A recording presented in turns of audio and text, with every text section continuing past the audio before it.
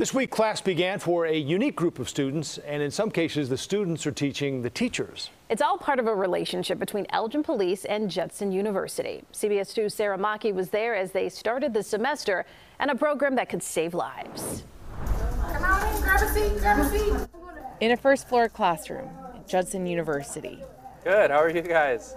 It's good to see you. Officer Chad Benavidez Bradley, how are you? prepares for his 3 p.m. class. The second year in this role, though he never trained to be a teacher. See a lot of new faces, a lot of old faces. These are Judson's RISE students, a program that prepares people with intellectual disabilities to live independently and seek employment. All right, I'm gonna hand you guys some paper. Uh, you don't need it right now. A Judson alum, Benavidez got the idea to adapt Elgin PD's Police Academy for this program after responding to a scene with a RISE student while on duty. people with disabilities, students, these students with disabilities are like up to seven times more likely to have interactions with police. So, if anything, these should be the people who we're, you know, teaching more. Benavidez's curriculum involves bringing in other officers from different units, teaching crime scene forensic skills, fingerprinting, self defense. He gets high marks from students He is a great guy for sure.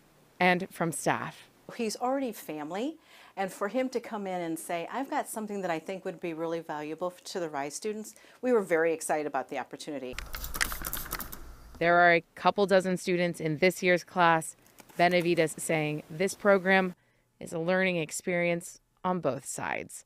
I'm not just standing up there teaching; they're teaching me a lot of stuff too. Um, a lot of their questions, a lot of their concerns, um, bring to light a lot of things that I can do better. This class meets once a month, every month until May. On that last class, a field trip to the Elgin Police Department. In Elgin, Sara Machi, CBS 2 News. For him to take that initiative Right. when he sees this need is really incredible. And the fact that he's an alum is nice too. I think this is, we had another story last week or so where an alum came back and is paying it forward and helping the students where they once went to school themselves. It's great to see. It certainly is.